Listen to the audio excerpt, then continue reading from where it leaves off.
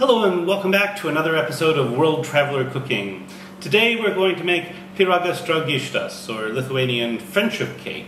This is a cake usually served with tea, and it's named that, I think, because, at least from what I've heard, sort of a good way to make friends is eat cake and drink tea.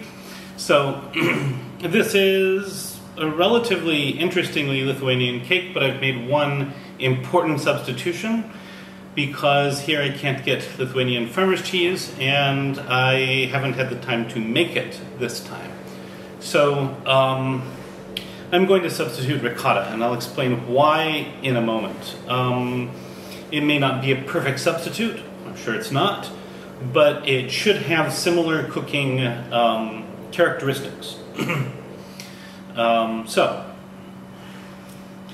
at any rate, our ingredients for the dough are 165 grams of butter, an egg, 75 grams of sugar. I'm going to use one and a half to two tablespoons of sour cream. Um, I have 300 grams of flour and one teaspoon of baking powder, and that's the dough. The filling will be about 200 grams, or most of this. Um, tin, uh, container of ricotta cheese. It should be a farmer's cheese, but thing is, Lithuanian farmer's cheese is basically a acid curdled um, cheese, similar in construction to paneer, although though often Lithuanians also add egg to this cheese. I will probably do a special one of that type in a relatively uh, future. Um, uh, time. But ricotta cheese is made in a kind of similar way, and so it ought to have similar cooking properties.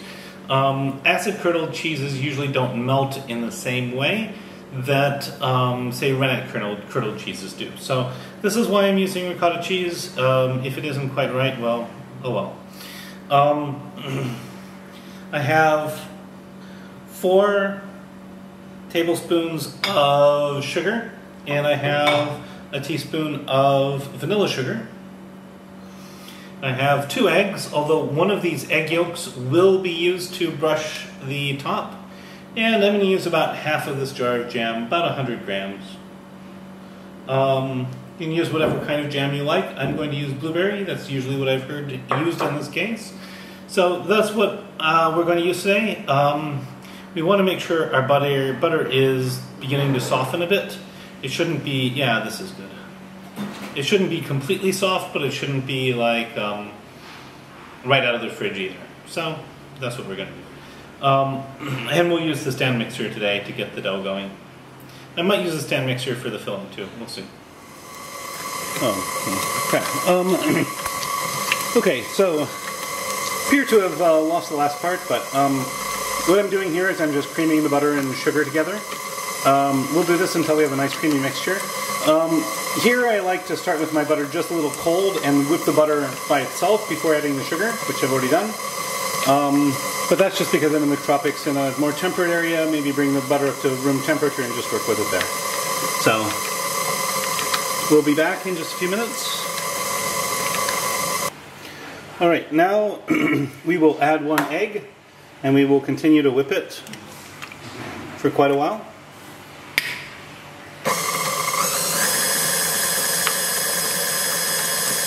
And with larger grain sugar like this, uh, probably it's now that the sugar will fully dissolve. So let's be generous with how long we whip it.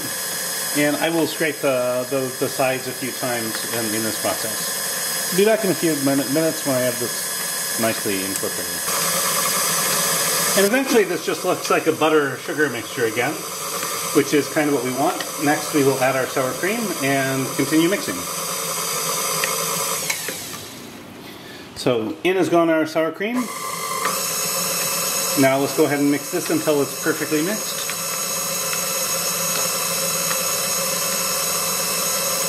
This will be a few more minutes and then I'll be back. Now, at this point, basically it looks like, um, again, a mixture of butter and sugar. So I'm just going to start spooning in the flour and baking soda. Bit at a time, let it incorporate. Add a bit more. And at some point this may become too thick for the mixer, in which case I will just mix it by hand at that point. So I'm just adding the sugar slow, no sorry, the flour slowly here.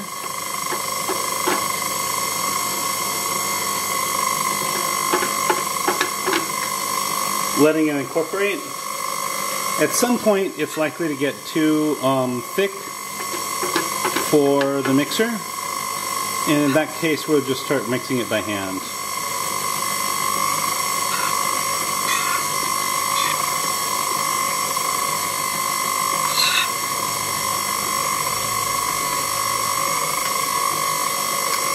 And in between rounds, uh, I'm often going to check and make sure that it's all getting mixed properly.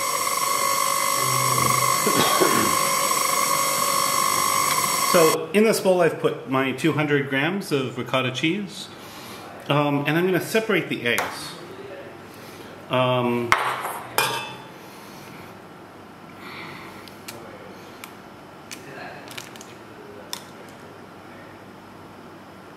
The reason for separating the eggs is we're going to whip the egg whites. Um, and one of the yolks will end up in here. The other yolk will end up um, being used to um, glaze the top. All right. So here we are. I'm going to set this yolk aside and then we will be back later to use it. So, egg yolk, the sugar, the vanilla sugar, the ricotta cheese, uh, or other cheese curd, and now we're just going to whip these together until they are all fully incorporated and nice and mixed well. So this will be a few minutes and I'll be back. Then we'll get the egg whites done and we'll fold the mixture together. So, to fold in, you pour this up on top. That was the wrong tool. Be right back with the right tool. And then we just sort of gently stir it in, lifting from the bottom and folding over the top. And once everything is well incorporated, then we will consider this to be folded in.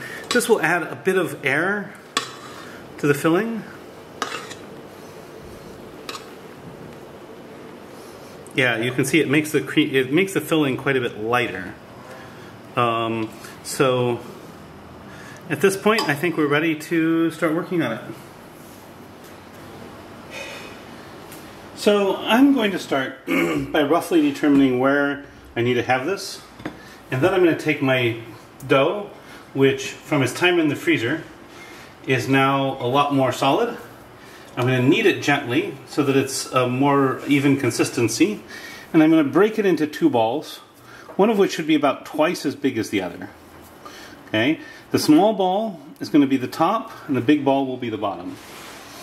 And then I'm going to put this one on here.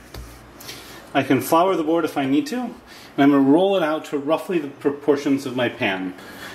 Alright, so that's been done. Now we can spoon in the filling.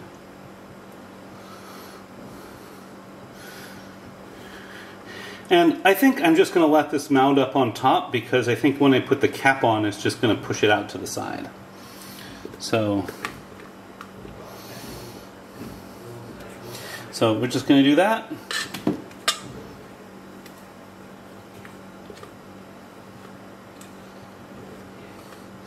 You can see it's kind of spreading out already.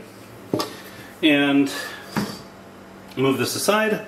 But again, note about how big it is. And then we'll roll our cap.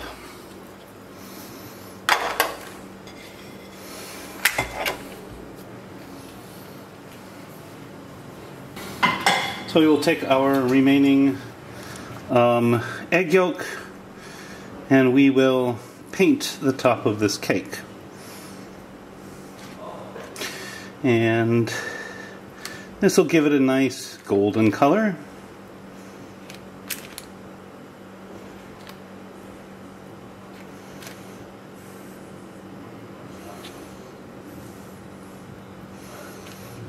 Seems like I didn't need the whole egg yolk. But I'm going to make sure that I really get everything here, because why not?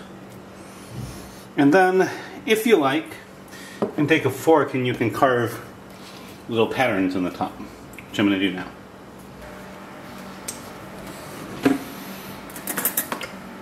So, normally I've seen this cut into squares, so I think that's what I'm going to do.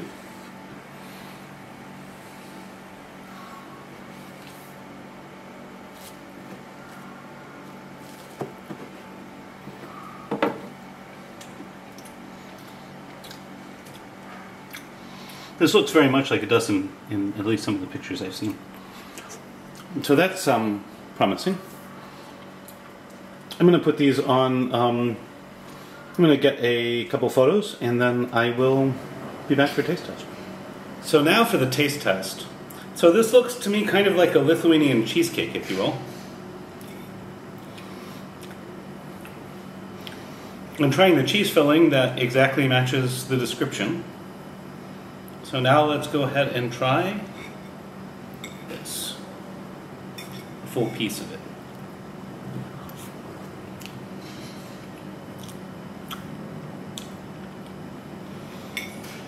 It's definitely on. It's definitely a, quite a sweet cake. Um, the jam, the filling, and the cake all have quite a bit of sugar in it. Um, as a small dessert, it's actually very pleasant. Um, creamy. Um, rich. Those would probably be the adjectives I use to describe it.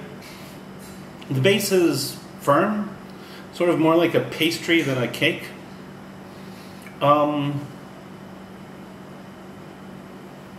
And the filling is, is, is quite soft. It's very nice.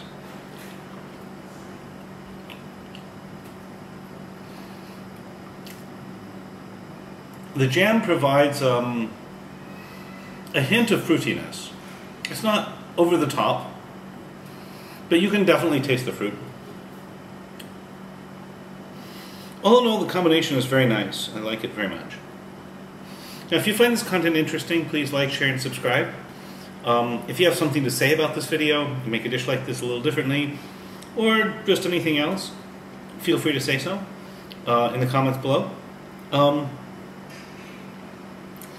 I very much appreciate all kinds of comments, and you can go back and see on some of my uh, past videos where people have disagreed with the way I've made a dish, and sometimes those conversations can be very, very productive. So don't hesitate to disagree with me on anything. Um, at any rate, recipes in the description. Bon appetit, and see you next week.